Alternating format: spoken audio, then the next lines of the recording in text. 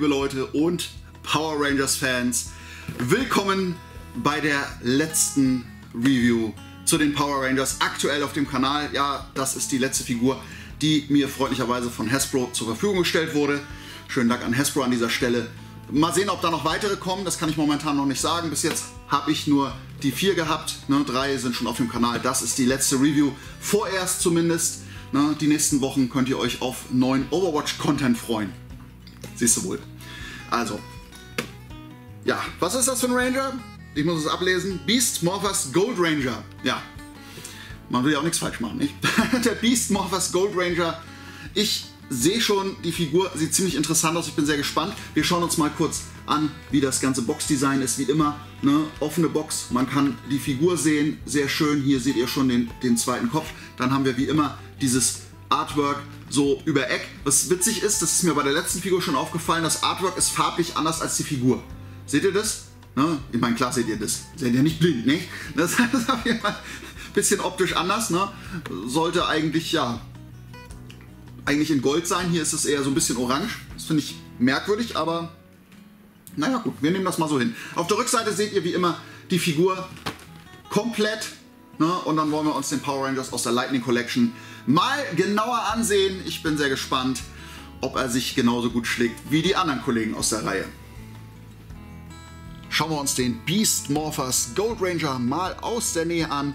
Ich mag die Farbgebung hier. Dieses Gold, Schwarz, Silberne, das sieht einfach richtig toll aus. Na, schaut euch mal an, wie das reflektiert und glänzt. Ganz, ganz toll gemacht. Also das ist auf jeden Fall schon mal ein richtiges Plus bei der Figur. Auch den Helm finde ich toll, sieht super aus, erinnert mich an meine Vergangenheit, an die Kindheit, denn damals hatte man so Roboter, die hatten auch so ähnliche Helme. Das sieht super aus, ganz, ganz toll gemacht. Sehr, sehr cool. Dann gibt es hier so Schulterpolster, die sind aus einem weicheren Material und hinten zusammen. Theoretisch könnte man sie ihm auch abnehmen. Müsste man ein bisschen fummeln, dann würde das wahrscheinlich gehen. Ansonsten der Gürtel hier, der ist auch aus einem weicheren Material, aber an mehreren Stellen festgemacht. Ne? Man sieht hier auch schön die Details. Man hat hier das Emblem der Rangers sozusagen, sein Emblem vorne mit drauf. Das ist cool. Na, genauso wie hier oben, da sieht man, sieht man das auch. Na, da ist das auch mit drauf. Ziemlich cool gemacht. Ansonsten wieder sehr schön.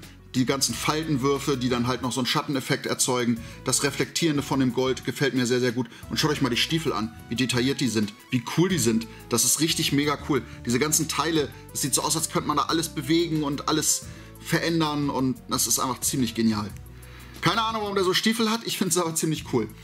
Ja, also eine wirklich schön gemachte Figur, ihr seht das schon richtig, richtig toll. Ah, dieses Glänzen, sehr schön. Kommen wir mal zur Beweglichkeit. Die ist wie bei den ganzen anderen Power Rangers. Ne, vorwärts, rückwärts geht nur ein ganz bisschen mit dem Kopf. Links und rechts geht natürlich super mit dem Kopf, das ist gar keine Frage. Ne, reicht aber aus, kann man gute Bewegungen machen. Ne, dadurch, dass die Schulterpolster so weich sind, habt ihr auch keine Probleme mit den Ärmchen. Da könnt ihr auch alles machen. Na, da gibt es halt dieses Gelenk so nach vorne und nach hinten, das ist ziemlich cool. Na, das könnt ihr euch mal angucken. Na, hier seht ihr, da ist der, dieser Balljoint sozusagen. Da kann man ganz, ganz viel mitmachen, ganz, ganz viele Bewegungen mitmachen. Na, dann habt ihr halt die Möglichkeit, den Arm hoch und runter zu machen. Na, ihr habt hier noch eine Drehung mit drin. Ihr habt ein doppeltes Ellenbogengelenk. Und natürlich, die Hand kann man drehen und ein bisschen nach innen und nach außen machen. Und da ist also richtig viel möglich. Das ist ziemlich genial. Gefällt mir sehr, sehr gut. Ne, andere Arm, genau dasselbe, keine Frage. Ne, dann habt ihr natürlich hier diesen Oberkörper, Crunch sozusagen. Ihr könnt dann auch ein bisschen nach links und nach rechts gehen. Ne, die Figuren haben keine Hüftartikulation, aber das könnt ihr halt mit diesem Oberkörper-Beweglichkeitsmodus hier ein bisschen ausgleichen. Ne, und dann hat der hier, weiß ich gar nicht, hat er das auch? Man sieht das nicht wegen des Gürtels, aber der hat das auch doch hier. Der hat auch noch diese, diese weitere Oberkörperbewegung, wo du die Apps im Prinzip noch crunchen kannst. Ne?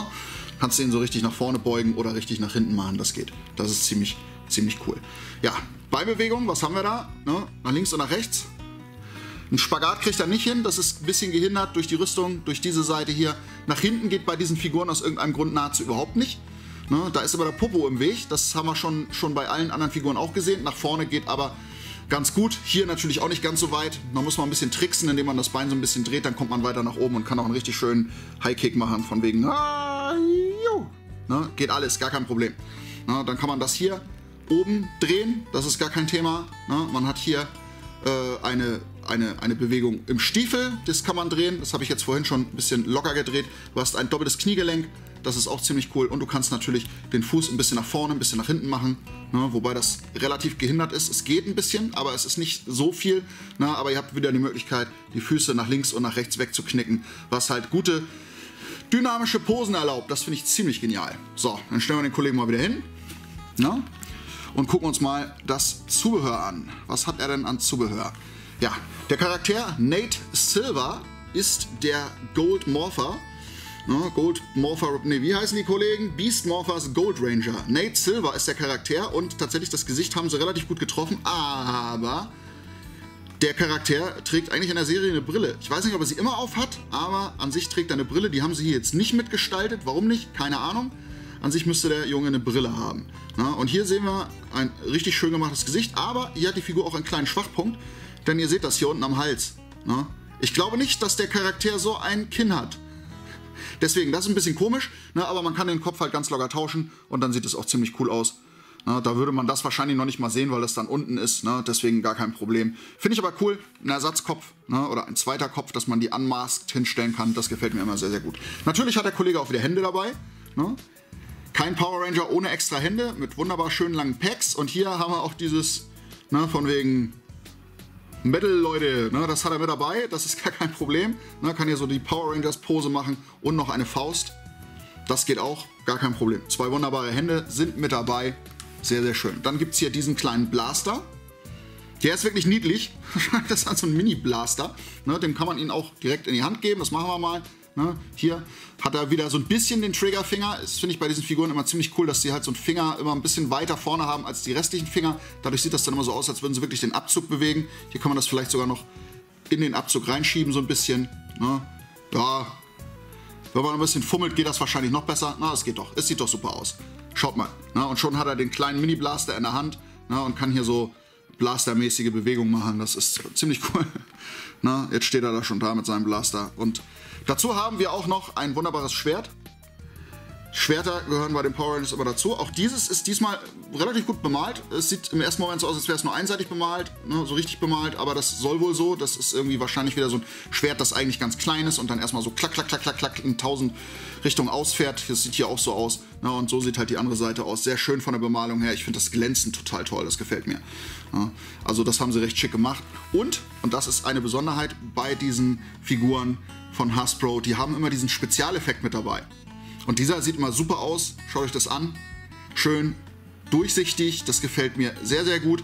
Und hier in diesem Fall habe ich eine Weile gebraucht, um rauszufinden, wo der hingehört, bis ich dann das Loch da in der Mitte entdeckt habe. Und das Ding kann man hier nämlich, zack, auf das Schwert stecken und dann sieht das wirklich actionmäßig aus mit dem Schwert und das Schwert kann man ihm hier so in die Hand geben. Wir machen das mal andersrum, Na, denn auf der Packung ist das nämlich auch andersrum. Da sieht das nämlich auch so aus, als wenn er das Schwert dann andersrum hält und ich kriege es mal wieder nicht hin. Na, aber das geht. Ist ein bisschen schwierig bei den Figuren, weil die, die, die Finger sind halt fest, ne, relativ, und da muss man dann so ein bisschen fummeln, bis man das hin hat. Aber es geht. Es geht. Es sollte gehen. Sollte kein Problem sein. Eben habe ich es auch hingekriegt.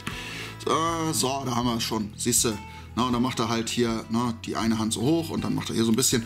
Na, ein bisschen Posing ist halt möglich, ne? gerade auch dadurch, dass ihr halt die, die, äh, die Füße so ein bisschen schräg stellen könnt. Da könnt ihr so ein bisschen was machen. Na, dann könnt ihr hier so ein bisschen.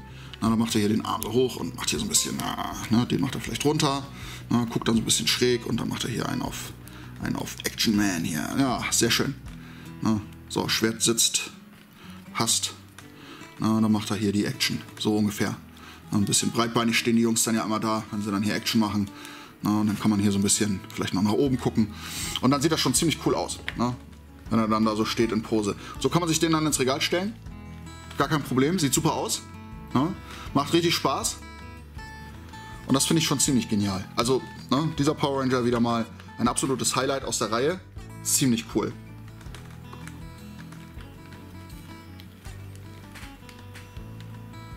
Auch dieser Ranger sieht wieder absolut fantastisch aus. Ich finde den richtig, richtig cool. Die neuen Hasbro Power Rangers sind einfach in meinen Augen extremst geil gemacht. Und ich bin gespannt, was da noch so kommen wird in nächster Zeit. Ich freue mich, dass ich die Figur habe. Wirklich cooles, cooles Teil. Na, und wenn ihr auch sowas haben wollt, dann schaut euch im Spielwarenhandel um oder fragt den Comic-Händler eures Vertrauens. Da werdet ihr sicherlich fündig werden. Ansonsten könnt ihr ihn auch online bestellen. Gibt es auch ganz, ganz viele Quellen. Und ja, wenn ihr Bock habt, schaut euch demnächst die Overwatch-Videos an, da kommt ein bisschen was. Ne, schaut euch die anderen Reviews zu den Power Rangers auf dem Kanal an. Schaltet beim nächsten Mal generell wieder ein. Ich mache auch noch andere wunderbare Videos. Ne, und ihr kennt das Spielchen. Lasst einen Daumen da, lasst ein Abo da, lasst Kommentare da, drückt die Benachrichtigungsglocke und, wie ich schon ein paar Mal gesagt habe, wieder anschalten. Richtig cool. Power Rangers, ich bin raus. Macht's gut. Tschüss.